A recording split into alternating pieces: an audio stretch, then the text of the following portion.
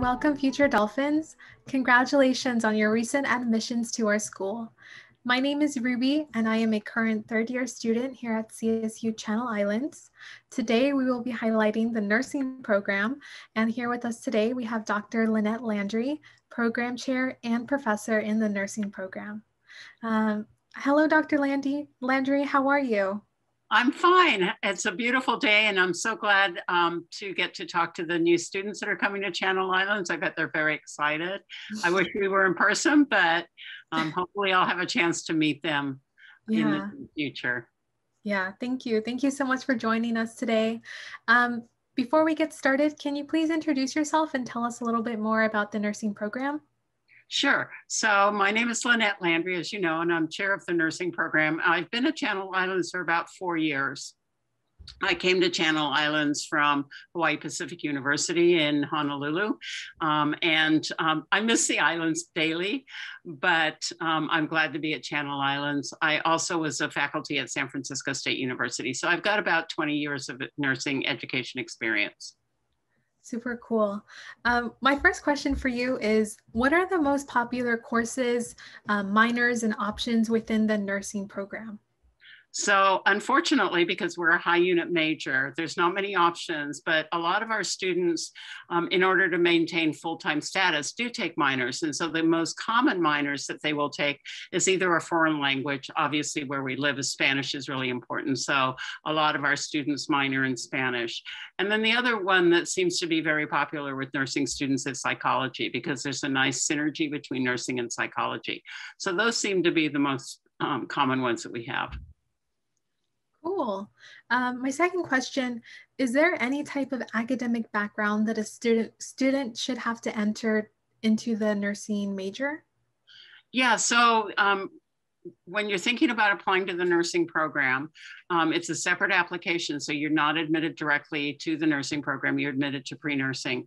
And so we recommend you get your sciences and your math and your Golden Four out of the way. So the Golden Four are written communication, oral communication. We require a stats course, so don't bother taking calculus, take stats instead. Um, and then uh, obviously the critical thinking. Um, so in addition to our required sciences, those would be the things I would say you should really focus in on getting out of the way. Perfect. Uh, my third question, what are the opportunities to participate in hands-on learning within the nursing program? So nursing's a unique program at the university. There are probably three or four programs where it really is a lot of uh, experiential learning that occurs. So every semester you're going to be doing clinical work. You might be in a hospital, you might be in a community setting, but you will be um, every semester working with nurses in different areas of hospitals or the community um, as you go through the program. And you said that's for all of the nursing tracks? That's for all the nursing tracks. Plus, we have a we have a lab, and in the lab, um, we do a lot of hands-on with students. We have high fidelity mannequins, which means that they can breathe, and we can make them vital signs change, so their blood pressure drops or it increases. And so, not only are you working in a clinical setting in a hospital, but you're also going to experience things in our lab. Yeah, super hands-on. So as for the um, pre-nursing major, do do they get any of that service learning or those labs or is it mostly just when you're into the nursing program? No it's uh, unfortunately because of our capacity we don't really have the ability to have students in who are not majors. Mm-hmm. um, and so it it starts once you start the nursing program. Okay yeah thanks for that information. Um, my fourth question what type of jobs do graduates seek upon graduation Oh, I love this question because nursing is a smorgasbord, is what I like to say.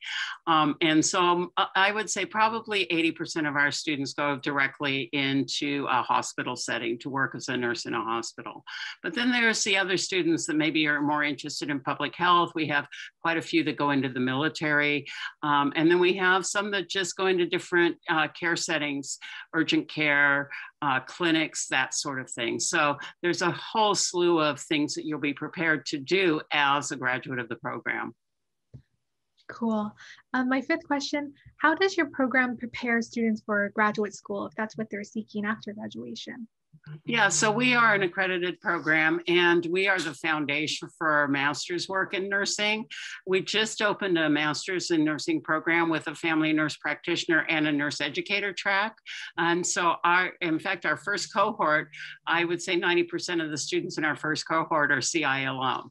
So they got the foundation in our BSN program and now they're transitioning into our master's program. Wow, that's super cool. Um, my sixth question is there any general advice that you can offer a student who is just beginning their studies at CSUCI, maybe just starting out as a pre-nursing major or even transferring to the nursing program?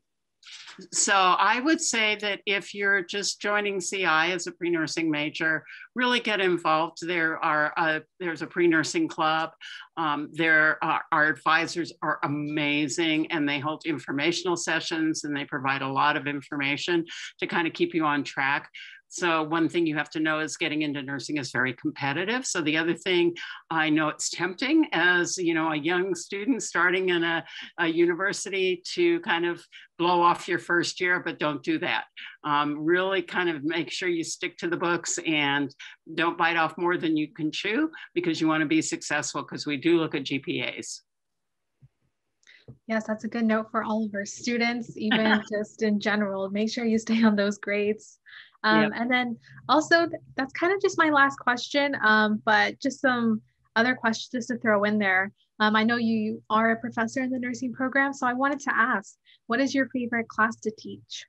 So I am a community health nurse. So my favorite class to teach is community health, but I also love teaching research. So those are my two favorite classes in the program. Mm-hmm. And then also just kind of to end on a good note, um, what made you first interested in nursing? You know, that's an interesting thing. I think a lot of us nurses have personal experiences either with family members who were sick and we watched the nurses take care of them and we said, that's what we want to do in our lives. For me, it was my aunt. She was a private duty nurse who took care of people in their homes and she was a great role, role model for me. Wow, that's so amazing to hear. Um, before we end, is there anything you'd like to add about the nursing program that we didn't get to cover in the interview, Dr. Landry? No, I would just say once you start your program and you're in the pre nursing or you're in your transfer program, please reach out if you have any questions. I love talking to students and I'd be more than happy to talk with you and get to know you. Yes, thank you so much, Dr. Landry. And students, if you have any more questions about the nursing program, please visit the website um, go.csuci.edu slash academics. Um, and thank you so much for coming to Admitted Dolphin Day, and we hope to see you in the fall. Okay, thank you, everybody.